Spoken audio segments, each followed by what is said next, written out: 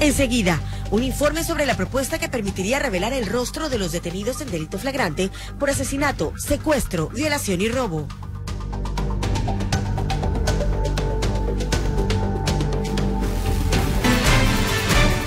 Cambios en el gobierno.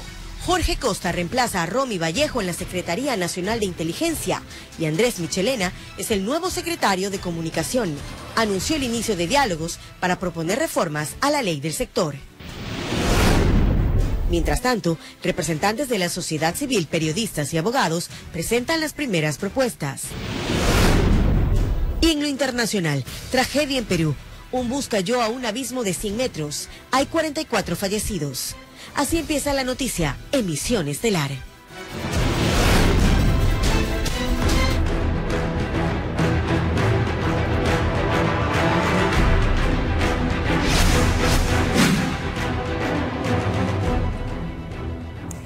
Televidentes de todo el país, buenas noches y bienvenidos. El invierno causa estragos en el cantón Villamil Playas. Tras las últimas lluvias, varias viviendas resultaron afectadas por las inundaciones que se han registrado en el lugar. Los afectados piden ayuda a las autoridades.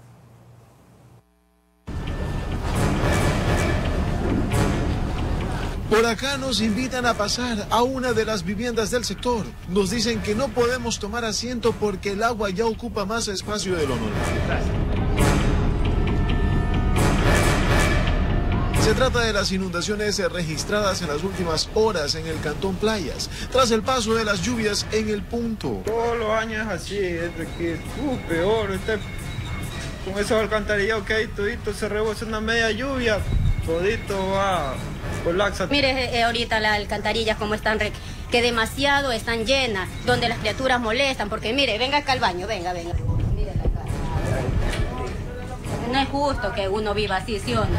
Ahora les toca convivir con el agua. Dicen que les preocupan las afectaciones que la misma puede provocar. Esperan ayuda de las autoridades lo más pronto posible. Pasa que aquí puede llover toda la noche, pero en la, en, la raíz de la madrugada que vemos la novedad que estamos viendo ahorita porque esto viene de los cerros de San Antonio, viene arrastrando todo, palo, toda maleza viene arrastrando. Sin embargo, esta es una historia repetida en las distintas casas de la zona.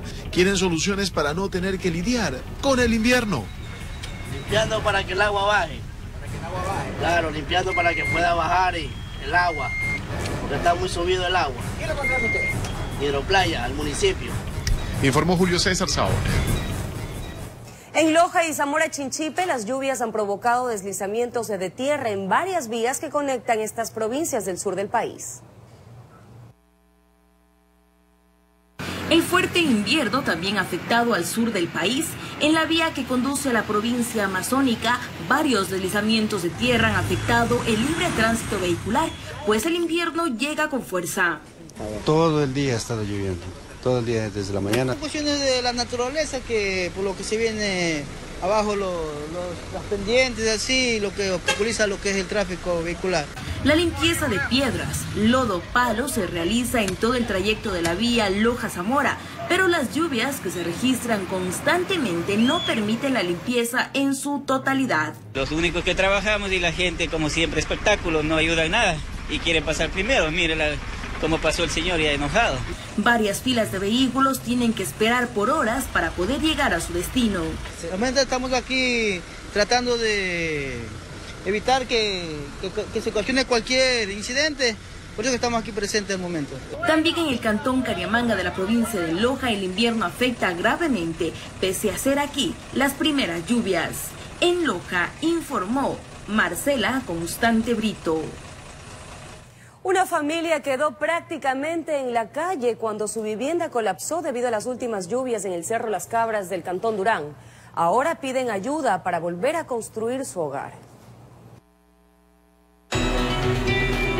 La desgracia los sorprendió a las 4 de la mañana, cuando poco a poco veían que su hogar se desplomaba. Se trata de una casa que colapsó en las últimas horas en el Cerro Las Cabras de Durán. Una familia quedó sin su vivienda y sumida en la preocupación. O sea, esto fue como a las 4 de la mañana comenzó a traer la casa y se cayó todo. o sea, antes de que se caiga la casa, nosotros pudimos salir rápido con mis hijos. Son cinco menores que tengo. Ya, en total, somos, el miembro de la familia somos siete en total. Solo les quedó parte de la estructura. Temen que con el invierno pierdan lo poco que les queda. Yo agradezco que el municipio nos haya ayudado con, víveres, con, colchones, con almohadas.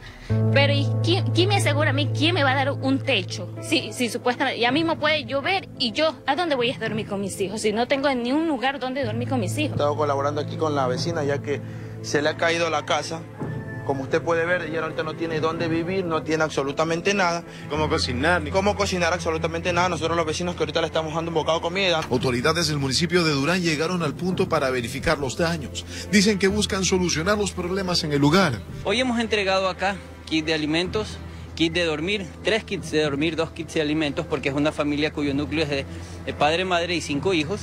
Esperan que también las lluvias calmen un poco para evitar situaciones similares. Actualmente la administración municipal se encuentra gestionando los recursos para poder proceder con la estabilización, la reubicación de las familias que no pueden mantenerse en los lugares inestables y en los lugares estables fortalecer la estabilidad y poder proceder con los procesos de legalización según eh, los pasos que tiene definido el municipio. Informó Julio César Saona. En Guayaquil, dos sujetos irrumpieron en un centro de rehabilitación de adicciones para robarles a un grupo de universitarios que acudía a brindar charlas. Según los perjudicados, uno de los asaltantes amenazó con matarlos si no les entregaban los celulares y las computadoras portátiles. Había terminado la hora del almuerzo y dos sujetos, uno a bordo de una moto y otro a pie, empezaron a merodear en los exteriores de un centro de tratamiento de adicciones en el sur de Guayaquil en la tercera vuelta. Los delincuentes, eran los delincuentes, pero nosotros pensamos que eran, clientes tal vez aquí, no nos dimos cuenta. Y, cuando comenzó a contar, él, entró y dijo 1, 2, 3, 4, 5, 6, y, dijo, dame las mochilas y los celulares. Yo, intentaba, no sé, esconder mi mochila, algo, pero porque tenía mi lacto ahí. Uno a uno empezó a desvalijar a los universitarios que acudían a brindar capacitaciones como parte de sus pasantías preprofesionales. El sujeto exigía y amenazaba. Uno de los compañeros intentó esconder la maleta, como se apareció en el video, y él intentó sacar el arma y dijo, por gusto se van a hacer matar, pelado, Entonces nosotros, pues ver la reacción que nosotros solamente alzamos las manos indicándole que no pasa nada, tranquilo, que no, que le, le, entregamos todo. El otro esperaba en la puerta de ingreso y cuando ya despojaron a todos, abandonaron el sitio. Campantes. Se ve claramente de que, de que es algo que ya estaba eh, vigilado, ya estaba monitoreado de parte de estos ladrones, porque no es algo que es de armarlo inmediatamente y, atracar. La Fiscalía ya inició las indagaciones junto a los oficiales de la Subdirección de Investigación de Delitos contra la Propiedad. En los videos se puede apreciar de que son varias las personas que ingresan, aparentemente tienen dispositivos de seguridad electrónica, eso lo que investigar, obviamente cuál es el motivo del dispositivo, porque son varios motivos por los cuales una persona puede tener dispositivo de seguridad electrónica. En el vecindario, los guardias de seguridad no ocultaban lo que observan en su compleja cotidianidad. La verdad que sí es peligroso aquí en este sector. Así estamos nosotros, a veces ellos vienen entre motos todos los días aquí dando vueltas. Tienen cinco años atendiendo problemas de adicciones y este martes les crearon sendo problema en el portal del centro. Informó Jorge Escobar. Los cuerpos de las cuatro personas fallecidas en un accidente de tránsito ocurrido en la cooperativa Unión de Bananeros del Guasmo Sur en Guayaquil fueron enterrados. El padre de familia que logró sobrevivir pide ayuda para solventar una asesoría legal y continuar con el trámite en torno a las investigaciones del hecho.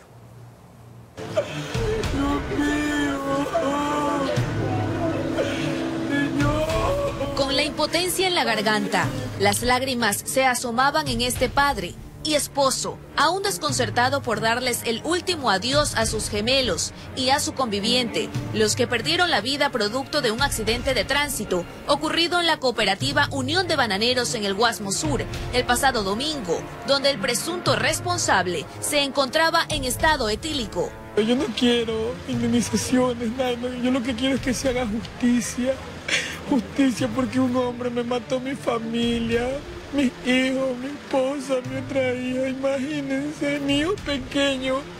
Su pequeño hijo de dos años pudo sobrevivir porque se encontraba en la parte delantera del auto, que recuerda todo, comenta el padre, desesperado por encontrar una guía para el niño. Ninguno de los dos estuvo muy inconsciente y él me dice que su mamá, pum, un carro la mató, su ñaño Mateo, su ñaña, él se acuerda de todo. Necesita ayuda psicológica para mi hijo. Orden de prisión preventiva pesa sobre el implicado en el accidente. Para este padre de familia, las opciones de solventar ayuda legal son pocas. Necesito que me ayuden, necesito, esa es la ayuda que yo pido, una asesoría jurídica. Quiere enterarse de mi caso y ayudarme, por favor, yo les pido. Los cuerpos de las cuatro personas fallecidas en este fatal accidente fueron enterrados la mañana de este miércoles. En su soledad encuentra una suerte de consuelo, alentado por la fe de justicia. Yo lo que quiero es una ayuda jurídica, que se haga justicia. Informó Adriana Peralta. A 200 metros de profundidad estaría sumergido el helicóptero que se estrelló a 5 millas de la playa San Mateo en Manta, provincia de Manabí, y que causó la muerte de sus tres ocupantes. La Fiscalía informó que continúa la búsqueda de vestigios que aporten a la investigación en torno a una presunta cuarta víctima de este accidente aéreo.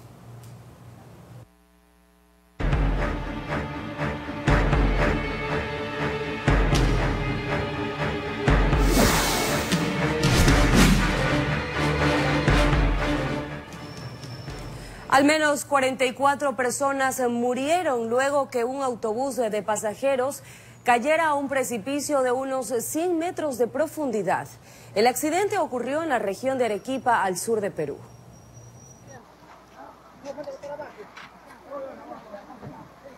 Un episodio escalofriante y jamás imaginado por los ocupantes del autobús 956 de la empresa Rey Latino fue el que experimentaron sus ocupantes cuando al llegar al kilómetro 780 de la carretera Panamericana Norte, en las cercanías de la localidad arequipeña de Cumaná, el micro se precipitó por un barranco de 100 metros de profundidad.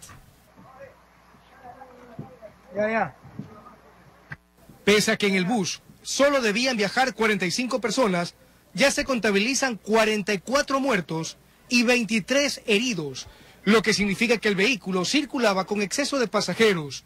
Otro motivo más por el que la operadora fue suspendida durante tres meses hasta esclarecer las causas del accidente. Uy, se ha ido un bus adentro. Mira las personas. Ah, su mira abajo.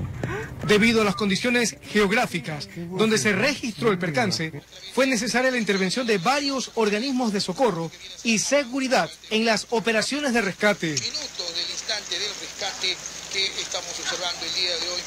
El presidente Pedro Pablo Kuczynski expresó sus condolencias a los familiares de las víctimas y ordenó la activación de todos los protocolos para atender a los afectados.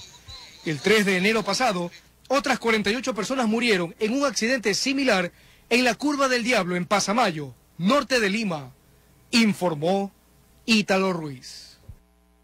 El gobierno confirmó que los ataques registrados en la frontera norte en contra de la Policía Nacional y las Fuerzas Armadas serían perpetrados por grupos eh, disidentes eh, de organizaciones irregulares.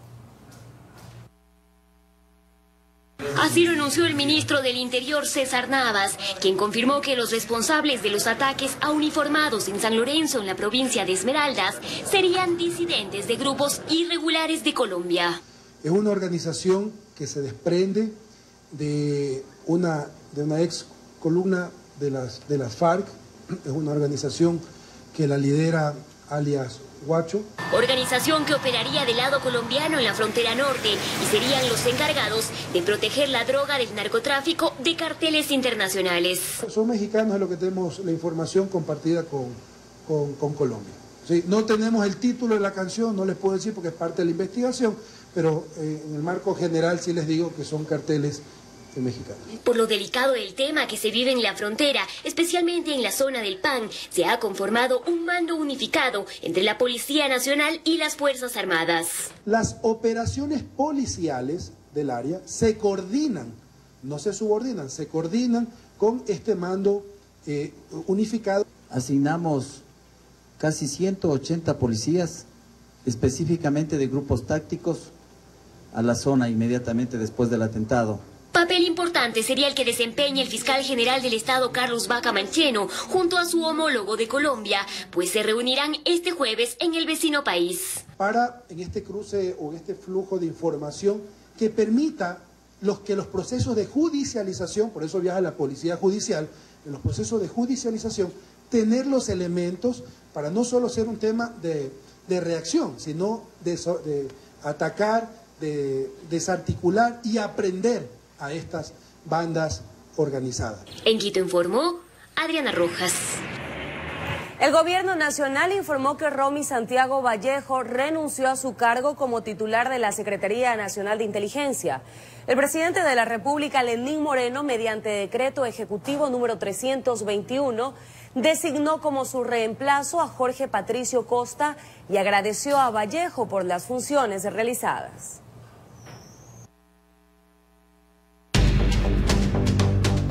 Enseguida, un informe sobre la propuesta que permitiría revelar el rostro de los detenidos en delito flagrante por asesinato, secuestro, violación y robo.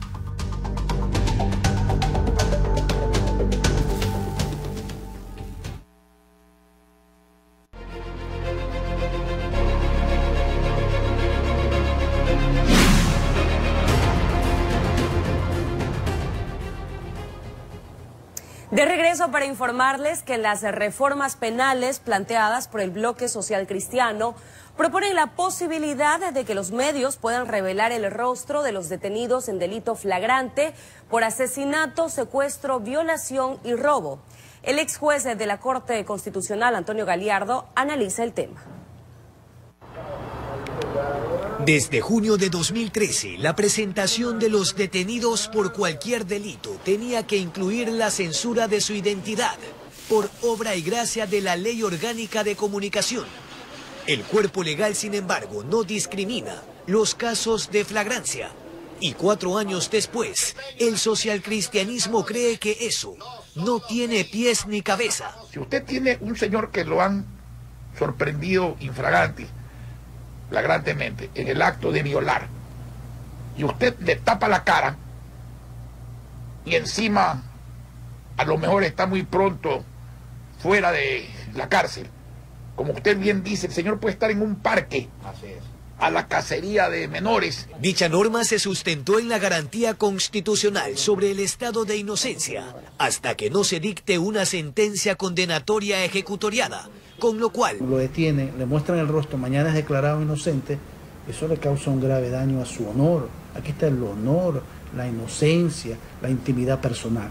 Entonces, esto va a ser siempre algo discutible. El asambleísta Henry Cucalón considera que al tratarse de cuatro delitos execrables, bajo la condición exclusiva de flagrancia, no debería haber ninguna contraposición. Principalmente por tema de violación de, de menores, por delitos contra la mujer, de violencia contra la mujer, ¿quiénes son los que le cometen? No puede, insisto, cubrirse bajo el tema de la presunción de inocencia. Sin embargo, el doctor Antonio Gagliardo precisa que de darse esta modificación en el COIP, debería de hacerse lo mismo en la Ley Orgánica de Comunicación, sobre todo en la Comisión de Delitos Flagrantes en casos tan particulares y evidentes a partir de las grabaciones de las cámaras de seguridad.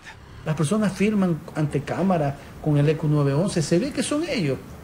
Entonces, sencillamente, ahí en esas situaciones, ¿por qué no se puede divulgar la información de esa persona, que a veces son personas que cometen delitos atroces. La propuesta fue entregada hace dos semanas en el CAL y ha tenido el apoyo del presidente de la función legislativa.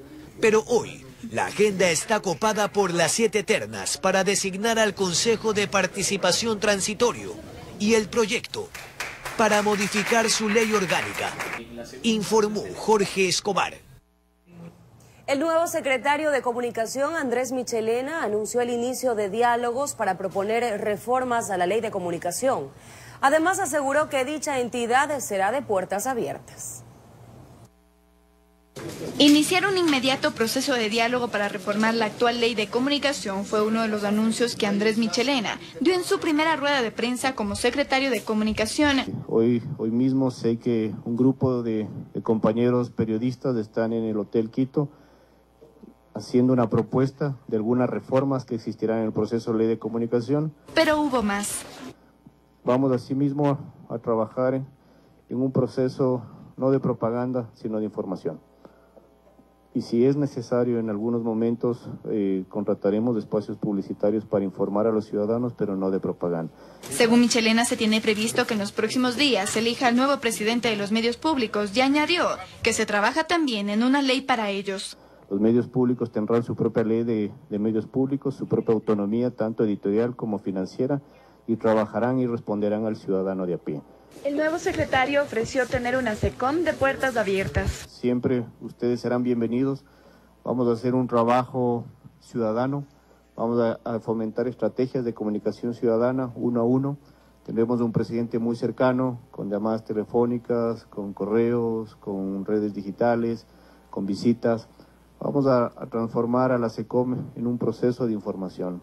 Andrés Michelena se había desempeñado desde julio del 2017 hasta ahora como gerente general de los medios públicos. Fue subsecretario de comunicación durante la vicepresidencia de Lenín Moreno desde el 2007 al 2013 y jefe de comunicaciones de la campaña electoral del 2017.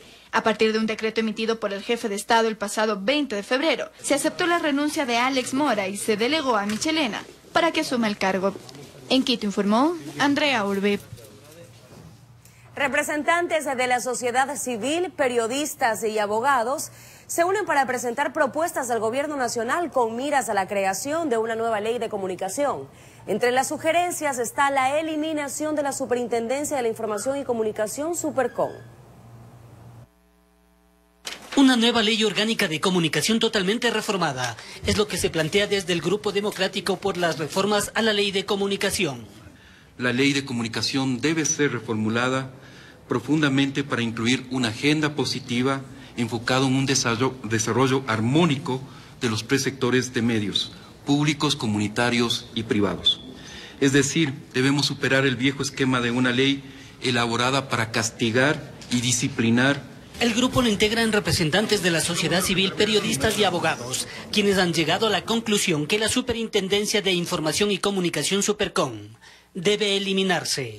Cualquier eh, organismo regulatorio de la comunicación debe ser un organismo independiente, debe ser un organismo colegiado y tiene que ser un organismo altamente técnico.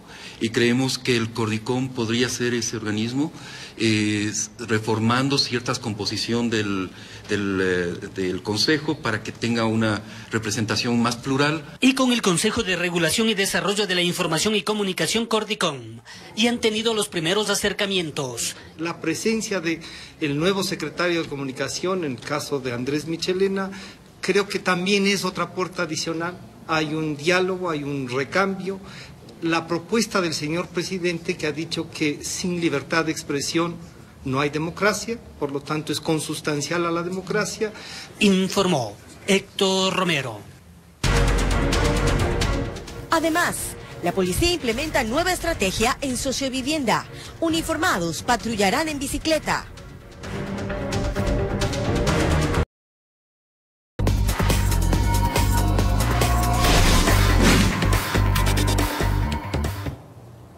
Gracias por continuar en nuestra sintonía.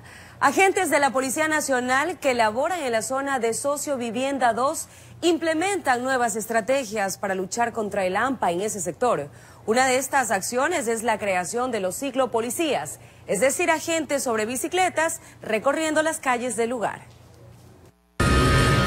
El pasado fin de semana se logró capturar a cuatro personas a quienes se les descubrió que utilizaban los domicilios que fueron donados por el Estado para ocultar actividades ilícitas.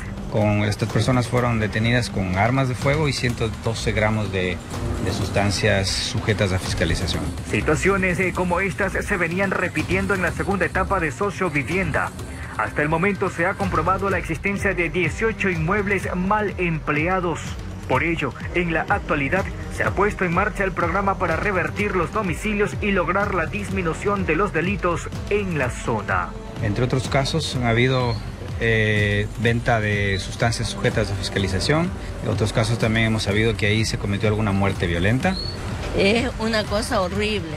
Por su parte, los miembros de la policía aseguran mantenerse en constante lucha contra el AMPA que pretende dominar la zona y para ello ahora puso en marcha el proyecto de policiclos, es decir, uniformados que recorren las calles en bicicleta. A partir del día de hoy van a incorporarse unos 10 policiclos que son los que van a interactuar con los ciudadanos. Con esto se pretende incrementar los índices de efectividad en la lucha contra la delincuencia, a más de la intervención integral que se impulsó en la zona. Por ello, y como parte de este combate, también se ha logrado cambiar nombres de lugares que estigmatizaban a los habitantes del sector. Al Canal de la Muerte le hemos puesto de nombre el Gran Canal, que evidentemente así está hecho. El, quinto infierno le hemos puesto como el tercer cielo y aquí la barraca le vamos a llamar el barrio de la paz. Informó José Morales. Agentes de la CID-PROVAC desarticularon una presunta organización delictiva durante la operación Impacto 71. La banda tenía como centro de operaciones el Distrito Metropolitano de Quito. La fría noche y madrugada capitalina se calentó con el corre-corre de los policías. En manos de los agentes de la Brigada Anticriminal, 10 órdenes para allanar domicilios y locales en diferentes puntos de la capital. Iban tras los presuntos integrantes de una bien organizada banda dedicada a delitos como asalto a entidades bancarias, robo bajo la modalidad de sacapintas, tenencia ilegal de armas, venta de droga, además de...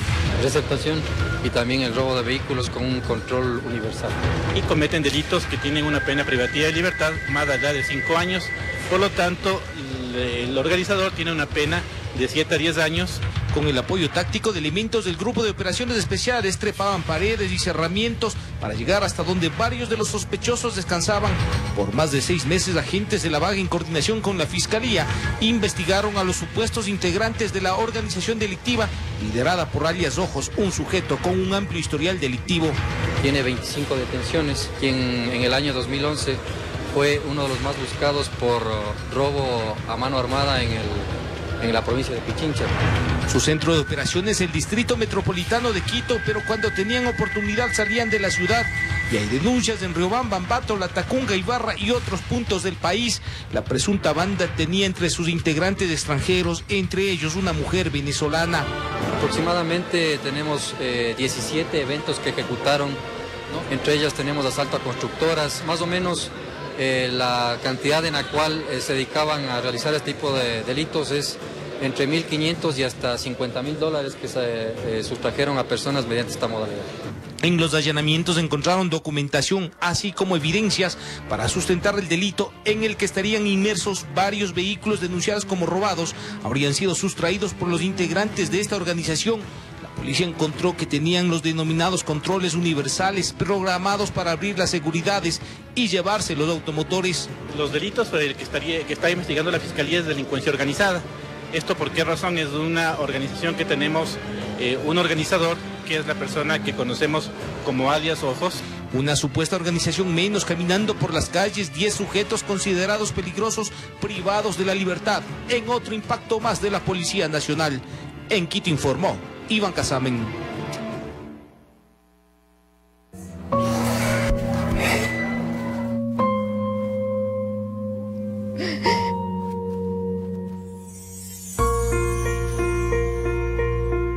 La más grande, ella, esa abuelita, mi papi. Este es el harto de mío, que regrese, por favor. Preocupada por ella. Hija mía, por favor, mi flaquita, regresa, flaquita, regresa.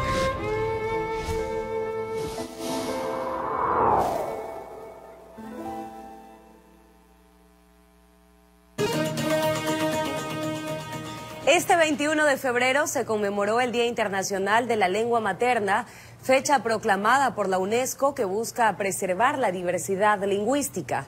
En nuestro país, estudiantes y docentes del Sistema de Educación Intercultural Bilingüe celebraron el día con demostraciones de la lengua huaquichua.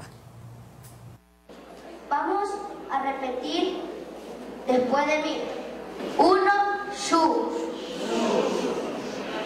Dos, iscar. Tres, quinza. Víctor Hernández tiene 11 años y domina perfectamente el quichua. adquirió el conocimiento a través de la educación intercultural bilingüe que se oferta en más de mil unidades educativas en todo el país. Nosotros tenemos acá en Zona 8 18 años como educación intercultural bilingüe con el nuevo modelo educativo que se ha implementado. Guayaquil, Durán y San Borondón cuenta con ocho instituciones educativas interculturales bilingües donde se oferta educación desde el nivel inicial hasta el bachillerato. Esta demostración de la lengua quichua se realizó en el marco de la conmemoración del Día Internacional de la Lengua Materna, proclamado por la UNESCO en 1999. A este acto acudieron estudiantes y docentes de comunidades indígenas de la costa y que forman parte del sistema educativo intercultural bilingüe. Anteriormente no veíamos personas que se identificaran con su vestimenta, quizás sentían vergüenza porque en esos momentos no se promovía como Estado este, las identidades culturales. Sin embargo, a través del sistema de educación intercultural bilingüe, contar en nuestros establecimientos educativos con estudiantes que vistan, que vistan la vestimenta propia de nuestra cultura, que estén aprendiendo el idioma porque justamente estamos trabajando en eso, en el rescate. Así se va recuperando espacios, rescatando la identidad y cultura de los pueblos ancestrales del Ecuador. Informó Marcela Maquilón. Amigos, así nos despedimos. Recuerden que pueden vernos desde cualquier parte del mundo a través del sitio web www.rts.com.es. RTS está más cerca de ti. Gracias por acompañarnos. Lo que sigue nuestro programa deportivo Copa. Buenas noches.